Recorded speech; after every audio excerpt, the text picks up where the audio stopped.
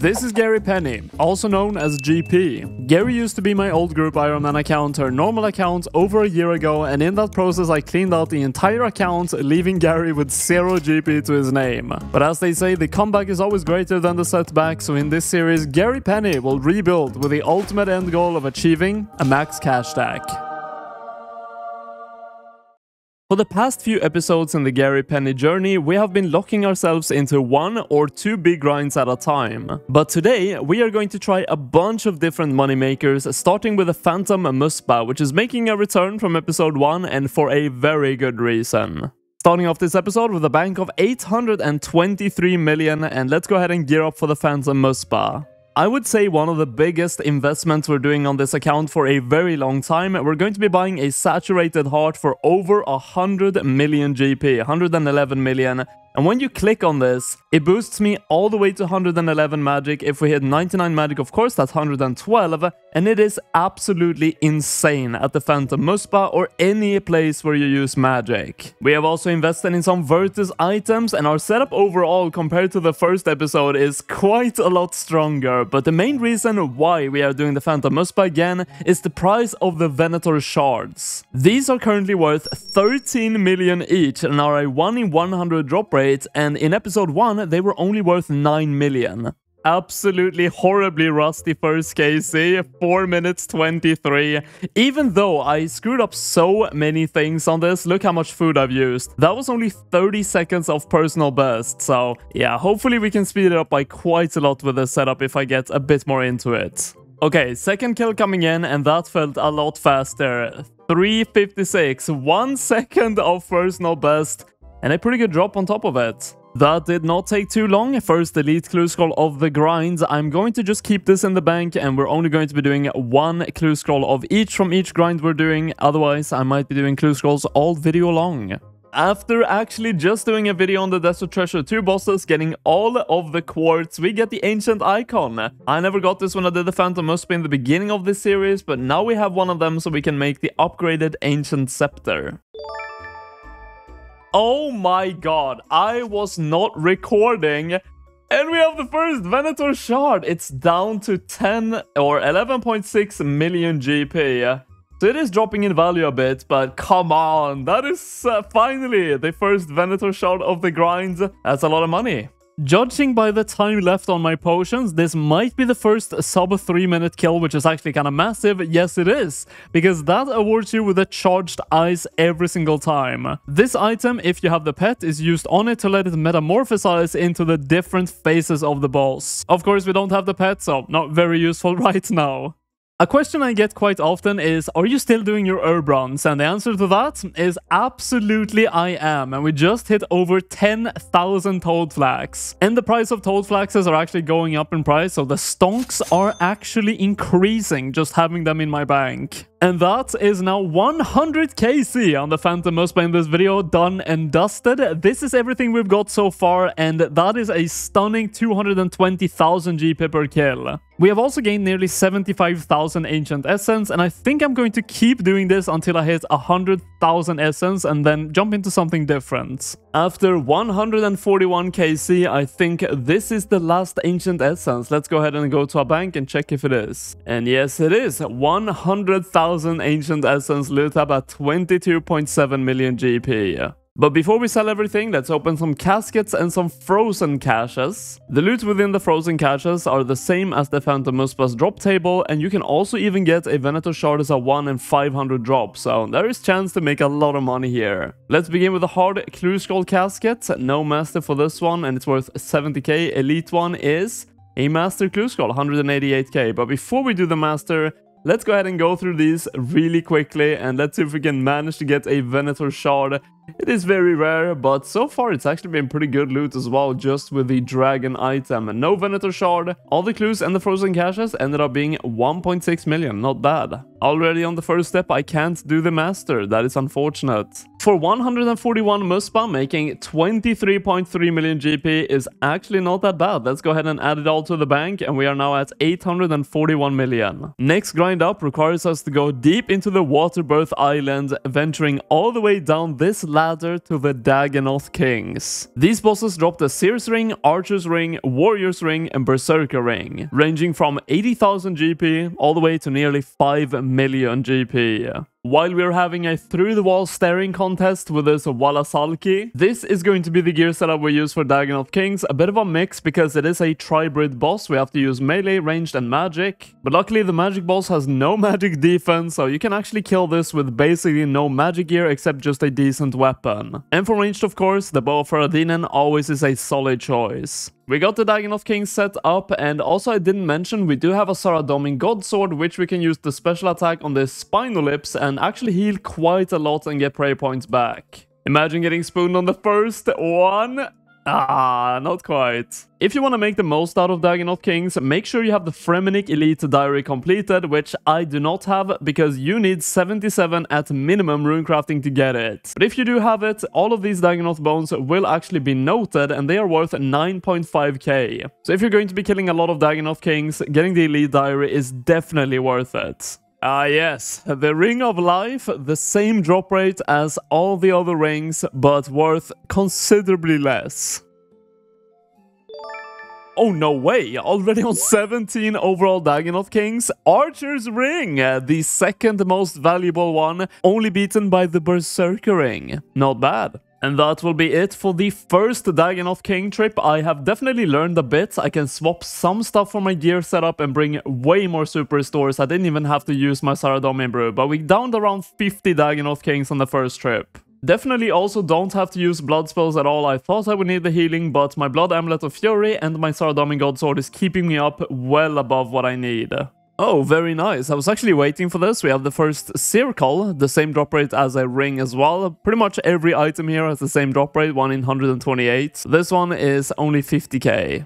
Well, I guess it had to happen eventually. The first Warrior's Ring. This one drops from Rex, which also drops the Berserker Ring, being the most expensive ring. Oh, let's go! Another Archer's Ring. And never say no to 3.8 million again. As we are finishing up another trip here, killing Rex being one of the last rings I'm missing. We're missing Berserker Ring, unfortunately none this time, and the Seers Ring. And I think the goal for this grind is going to be to get every single ring at least once. So as soon as we see a Seers Ring and a Berserker Ring, we are done. If you watched my last episode, we actually got very close to hitting 99 strength on the Duke grind from Desert Treasure 2 bosses, but we are now finishing that off, and that is 99 strength. We have finally reached the maximum potential for our melee combat style. Yes, we have the Seers ring. It's only 567k. Why is this so low valued? Thinking about how the Tumeken's Shadow was recently kind of released, I feel like this would be worth more now because it's actually really good. But that means we're only missing the Berserker ring. We have another Seers ring. We are inching closer to 1000 Dagannoth Kings killed, so would love to see that Berserker ring soon, honestly. After this Rex, we are hitting 1000 Dagannoth Kings and we still have not seen the Berserker Ring, but this is also the Dagannoth King that can drop it, so can we get it, please? That is not a Berserker Ring. Yes, we did it! That is the Berserker Ring. It's almost 5 million GP. You know what though? I have a lot of supplies I just got here, so I'm just going to finish off the trip and uh, maybe we can even get another Berserker Ring. You never know with these. Not a Berserker Ring, but an Archer's Ring, nearly as good, 3.6 million. It was definitely worth to stay and it's at the end of this trip as well, so I was worried it wasn't going to be worth it, but it was. Can we get anything good from the clues? Hard one has a master already, and the elite 177k, not too bad. This time the master could be completed, so let's go ahead and open it, and we get a Robe of Darkness, a Robe Top of Darkness, 313k, not too bad, looks pretty good as well. But here is the loot tab. We got 11 dragon axes. I never really show those because as you can see, you get a lot of them and it's worth 20.6 million. So let's go ahead and sell everything. And there we go, 20.2 million after GE taxes and everything. Not too bad. Next up, the Wilderness just had a big Slayer update, adding the undead pirates and increasing the population of monsters and speeding up the spawn timers of them inside of the Wilderness Slayer cave. Monsters in the Wilderness also have an additional loot table with fairly valuable items, making it the most profitable way to train Slayer. So let's buy some Wilderness friendly gear and hop over the ditch. And of course, as we're going to be doing a lot of Slayer, we need the Slayer helmet for that 15% damage boost. So let's go ahead and also imbue it at the Nightmare Zone. This helmet cost me roughly 800,000 to make, so not too bad. But this is the gear we're going to be using. We have the Ursine Chain Mace for melee tasks, and any task that I can Ice Barrage, I have the Accursed Scepter. A lot of tasks in the Wilderness are barrageable for insane experience and kills per hour, so probably most of the tasks will be magic. And if we discount for the cannon, which is worth like 500,000, we're only really risking around 400k if you also include the ether from the weapons, so it's really not that bad if I do end up dying. I remember this task being absolutely terrible of Dark Warriors having to run around in the castle and kill them one by one, but now because they've added so many more monsters and increased their spawn time to like 7 seconds baseline on every creature, I can just barrage them here in the middle with a cannon and complete the task in no time.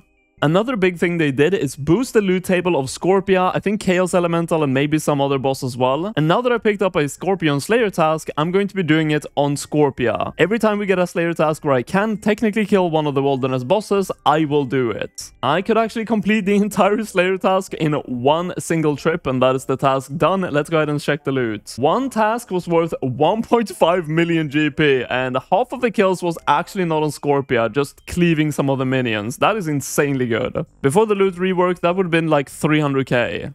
Now that's what I'm talking about, 117k extra money just for doing Slayer in the Wilderness. That is of course on the special loot table and just extra income. And that is definitely not the most expensive item you can get there. And of course, we have the Larran's keys as well, the first one coming in right now. And we are going to open them all at the end for the chest, instead of just selling them at the GE. On a task of 15 Black Dragons, we end up getting the first Trouver Parchment drop. You get two each time, they're like 500k each. And these are actually pretty damn rare. It's the most expensive item from the Slayer loot table as well. They do become more common with a higher level monster, so Black Dragons is one of the more common ones, but it's still one in like 1.2 thousand to get these. It's time to head over to Elder Chaos Druids, because we got a task of 89, where we're also going to be killing some undead pirates, and for that, we need the Teleport Anchoring Scroll, because I don't want to get spam teleported around in that area. It is absolutely miserable, so let's just go ahead and learn it. 1.3 million is a very low cost to pay for this. There's actually three tasks that allows me to go to this area and kind of AoE farm both the Elder Chaos Druids and the Undead Pirates. That is the Chaos Druid task, Pirates task, and Zombie tasks. And because of the insane money these Undead Pirates actually give for how low level they are, this is always a great place to go to for money. I mean, that took like no time at all, and my looting bag is 1 million GP. It's not even filled either. Oh my god, finally! We have the first superior. I've had so many tasks that actually could give me superiors, I just never got them. In the wilderness, you always get a Larran's key from these, so they're guaranteed like 120k profit. But they also, of course, can drop an imbued heart. No way. What are the odds, man? A here coming right when I get my first superior and it's about to die. Okay, well, I guess I don't have much of a choice. No imbued heart, but that's the Larran's key. Actually, a good amount of good stuff there. Wilderness Crab teleport as well. I don't even know if I can escape this at all. There's actually two people chasing me, but I froze one of them and the other one was very far away, so I might actually get a gap here. Please just let me log out. I want this Larran's key so badly. Don't land a... Yes, nice. Now that is a very interesting task. 77 skeletons, that allows me to do the first Voidwaker related boss, which is going to be Calvar'ion. Now because this boss spawns 4 skeletal hounds every single time, that also counts for the task. I only ended up getting 13 KC on the actual boss until the task was done, but 350k from the looting bag and didn't really get anything too massive and 140k for Sanfew serums at the end is not that bad. I was not recording. That is 90 Slayer. I did not expect that. The Slayer skill is so slow to level, I didn't even think about the levels. But of course, that is really good to get up because there's some really good moneymakers later on in the Slayer levels. An absolutely monumental milestone coming up here with 99 magic. Not only does this of course increase my DPS, I get access to one of the best quality of life upgrades on the entire account so far. And of course the next course of action is to actually purchase it for only 99k, the best 99k spent ever on this account. And how it works is that you basically click on it, spellbook, and you can swap it 5 times every single day. 2 out of 3 down for the Wilderness Void Waker bosses. That is 86 Artio. Let's get to it. The way I'm going to be killing Artio is very, very simple. Protecting from melee, AFKing, and just casting Blood and I basically out-heal all the damage. I do have to say, not a very eventful task. It was extremely AFK and chill to do though, because not a single PKer attacked me, which is kind of crazy at Artio. But this is all the loot. We managed to make 4 million GP, which is definitely a very good task. But that is the final one. We actually managed to get 80 spiders and that is Venenatis or Spindel. And for this one, as it is the last one, we are actually going to be doing Venenatis. Venenatis, of course, being the bigger and badder version of Spindel and also being located in a multi-combat area with also a harder time to escape because it is over 30 wilderness. It is better loot, but if a team comes in here, I am a 100% dead. Oh, that only took 7 KC, and uh, well, this is what I'm talking about. If a team like this comes in, I get frozen, I'm just 100% guaranteed that. It's best to just make sure I have protect item on and die. But this drop right here is exactly why I wanted to do Venenatis over Spindel. This is not even rare and it's 1.3 million GP, so with the risk comes definitely higher rewards.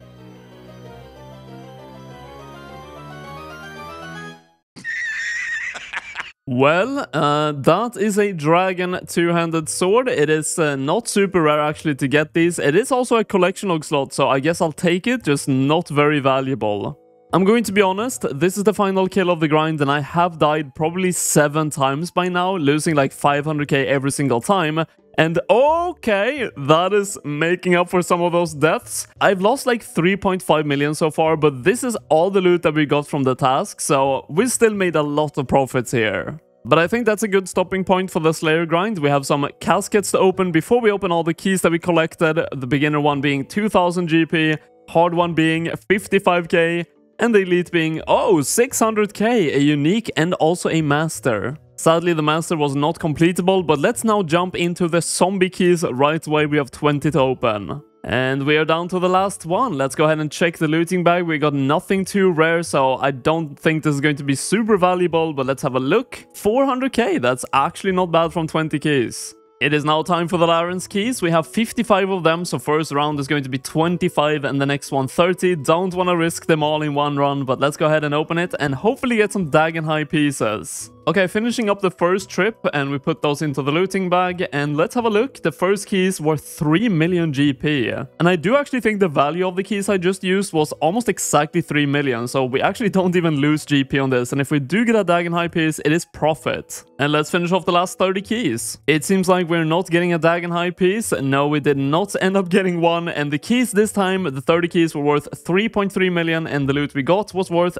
4.1, so actually profiting instead of just selling them. But this is what my entire Slayer loot tab looks like. Quite juicy, but let's go ahead and sell everything. Everything basically sold for its price, but let's add it all to the bank and we're now at 873 million bank. But Wilderness Slayer is not the only activity that recently had changes, another one is the skilling boss Zalcano located in Prifddinas. The minimum requirement of downing the boss 3 times before being able to defeat it has been removed, making it way faster to rack up KC. However, you now have to choose between getting good experience or loot. And of course, as this is a money-making series, we are picking resources over experience. Now, when it comes to gear setup, I definitely am missing a couple of things. None of them really matter that much, most of it being graceful, and I just have to bring more stamina potions because of it. It's actually insane how much better it feels to do Zalcano now with the 3 down limit removed completely. So if you have enough people, you can actually down the boss in just one single round of destroying its shield and then mining it. Just for one KC, I actually picked experience instead of loot now, and you should see an experience drop right now when the boss dies instead of loot.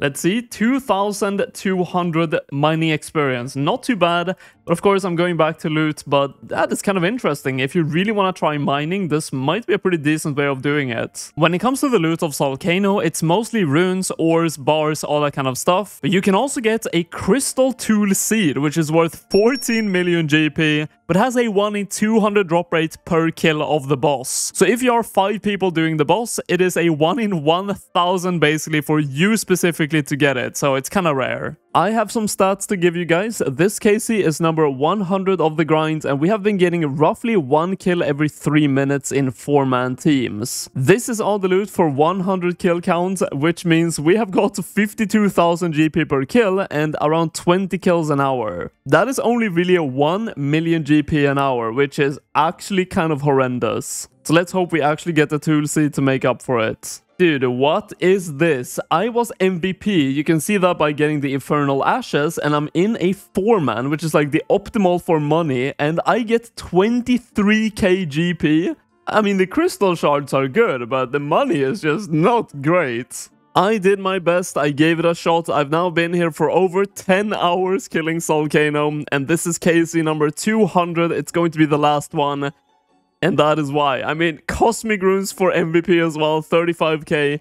This is all the loot that we got. It's like 44,000 GP per kill or something. Pretty horrendous, but this is where we're going to be ending it. All the loot from Zalcano has been sold. Let's go ahead and collect everything. And we managed to get just below 9 million GP after the cut. But we managed to get 444 crystal shards, which is 44,000 charges for my bow Faerdhinen. So that is definitely a big upside to this grind, even if the money wasn't great. And now if we chuck that into the bank, we have a overall value of 878 million to end the video. And that means we gained 55 million profit in this video which is not that bad for all the different activities we did, and we didn't really get anything too massively rare. In this episode, we took on two reworked activities, the Wilderness Slayer and Zalcano. And in the next episode, we are taking on yet another reworked activity. And it is going to be an absolutely massive one with insane money potential. So stay tuned for that.